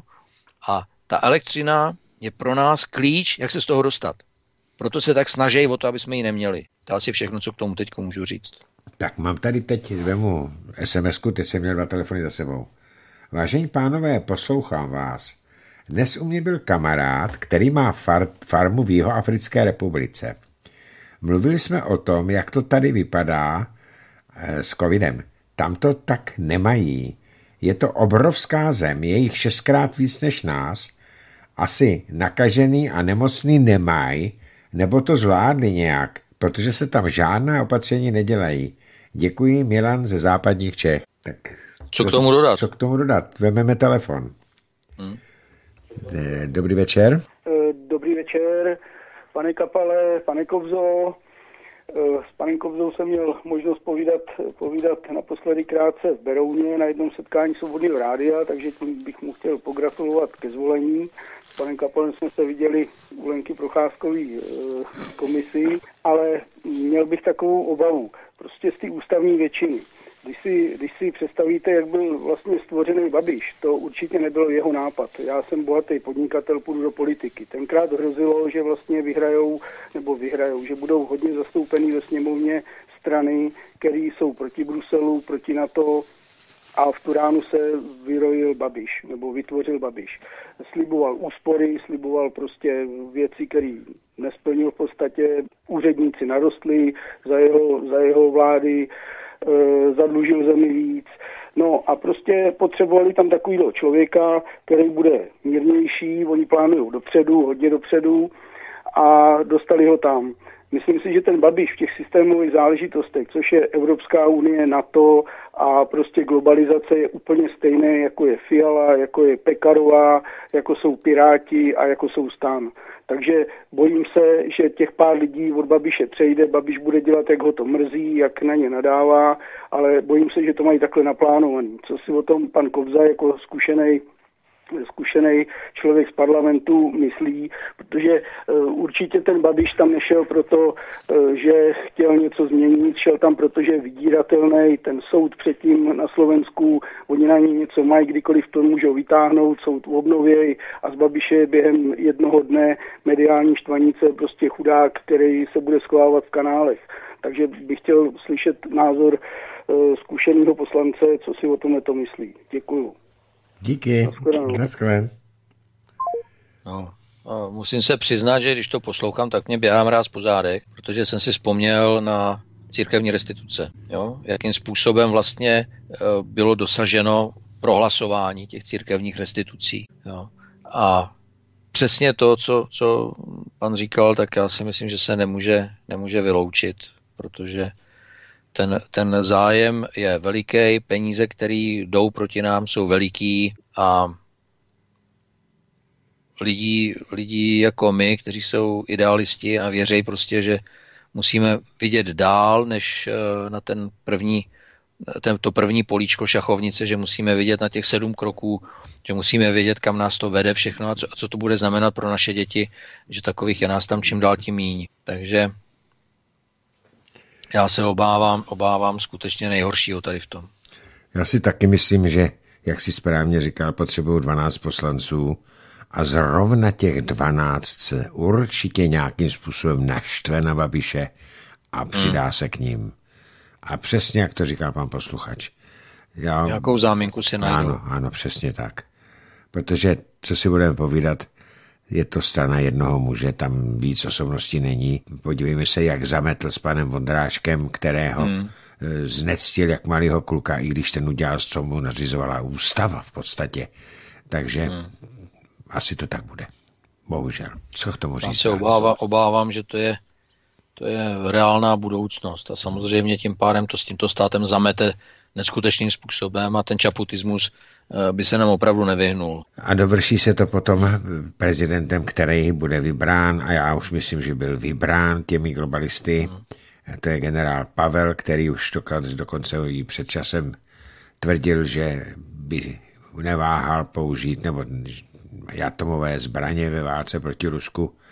Takže tohle to, jestli může říct člověk eh, rozumu normálního, no tak mě osobně to rozum nebere, protože to byl konec země koule, tak nás no, no, hlavně, hlavně musíme si uvědomit, že poslední válka na americkém území skončila v roce 1864 a že počítají s tím, že všechny tyto války i s těma atomovými zbraněmi by se odehrávaly mimo jejich území. Ano, ano. A v případě, v případě Ruska tedy tady u nás. No, takže tady jde, tady jde o nás, o naše životy, o naše děti. Takhle, ale abychom nekončili úplně tak pesimisticky. Ono, Není pesimismus, to je prostě realistický pohled na věc. Ono tady, já teďka použiju to, co říkal eh, můj táta, když se byl malý. Tak mi říkal, nevadí, když seš byt. Hlavní je, že se pereš. To znamená, že my se nepoddáme, my se budeme prát, i když nám budou teďka dávat chvilku, tak říkajíc přes hubu. Ale starý čínský, přísloví, starý čínský přísloví říká, i za nejtěžšími mraky se skrývá slunce. Hmm. A to slunce třeba jednou vyjde, uvidíme. Třeba opravdu se mm, změní situace v Polsku, Maďarsku, ve Francii, zatře se to Evropskou unii. Kdo ví, uvidíme, ale každopádně my, i když jsme teďka ti, co prohráli, tak se musíme prát dál přece. Hmm, určitě. Bez pochyby. A jak znám tebe, Jiří, tak ty určitě e, se neskloníš hlavu a budeš se prát, i když budeš vidět, že to je předem ztracený boj. Já nemám kam couvat. Přesně tak, já taky ne. Hmm. Vážení přátelé, tak máme... Děkuji za pozvání. Po deváté hodině, Jiří, díky za tvůj čas. Eh, budeme se, budeme ve styku, kdyby se něco dělo, tak si zase zavoláme. A eh, toho osmého vám budu držet hodně palce, abyste prosadili aspoň, to potřebovat. aspoň nějaké ty funkce tam, abyste měli informace a no a pak se dějí vůle boží. Hmm. Jinak se to nedá říct. Já si myslím, že Bůh se bude dobře bavit tím, co se bude u nás dít. Asi jo. Takže, vážení přátelé. Děkuji za pozvání a ještě jednou ze srdce děkuji všem, kteří stáli na mojí straně, kteří mě podpořili, protože, eh, jak jsem řekl a pořád na tom trvám, jako já to bez vás nedám. Já se můžu prát, ale bez vás to nedám. Takže my jsme se teď posunuli do druhého levelu, je to náš společný boj. Eh, já si myslím, že teď o to víc musíme stát jeden při druhém. Hmm, hmm. Počínaje, počínaje každou hospodou, ve kterých se bude, budou projednávat eh, nějaké věci, ve kterých se budete bavit s, s kamarádama, až eh, po ten parlament. Jako nesmíme, nesmíme prostě se nechat spochybnit, nesmíme se nechat opustit, nesmíme, musíme zůstat pohromadě. To je strašně důležitý, protože uh, jde, jde o hodně, jde o hodně. Jo. A, a to, to, do čeho nás tlačí teďko, to zadlužení, ty, ta drahota, ta chudoba, co jde, prostě musíme se tomu zepřít nějak. A jediný způsob, jak se tomu dá vzepřít, je prostě odejít z Evropské unie, protože bez ní by to nebylo možné. Hmm. A to je to poselství, který bych ještě rád zopakoval nakonec, protože je to, je to opravdu tak. Bez odchodu z Evropské unie se tady nic nezlepší. No, to je bez šancí, ale, ale hodně se toho zhorší. Ano, přesně tak. Vážení přátelé, to bylo dnešní povídání s poslancem Jiřím Kobzou. Jiří, držíme palce a dobrou noc. Držme si je navzájem. Děkuji za pozvání. Zdravím všechny, kteří nás poslouchali. A jako vlastenci udělejme něco, ať, ať se konečně spojíme a, a vytvoříme nějakou sílu, kterou budou muset brát vážně. Protože zatím ty, ty partaje, které mají 0,15, 0,2%, že jo, tak v podstatě ty jsou pro srandu a slouží jenom k tomu, aby oslabili, oslabili ten skutečný vlastenecký a konzervativní proud, který tady je. A je to, je to strašná škoda, protože to, te, ty efekty jsou daleko sáhlý, co, co tohle co způsobilo. Mě to mrzí, že to musím pořád opakovat, ale já jsem toho plný a jsem, jsem jako až, až zahořklej, protože, jak říkám, šest let vedu, vedu kampaň aby si ti lidi uvědomili prostě, co, co se stane s jejich hlasama. A je to, je to prostě zbytečný. Je to zbytečný. Příští rok jsou Hele. komunální volby, tak se snaží, budeme muset snažit v těch komunálních volbách získat co nejvíc z těch míst, abychom mohli aspoň ovlivňovat dění v těch městech jako správní Češi a tlačit na tu vládu ze spoda. Nic jiného nám zatím teď v tuto chvíli nezbývá. Přesně tak. Takže, Vladimíre, děkuji za pozvání. Nemáš za co, vždycky tě rád pozvu. Takže teď už opravdu dobrou noc. Dobrou noc. Vážení přátelé, já se s vámi taky loučím ze studia Beta. Pustíme si pěknou písničku od Pešáků a já předám vysílání dalšímu studiu Svobodného rádia. Ode mne to bylo vše a my se spolu uslyšíme až v neděli. Dobrou noc.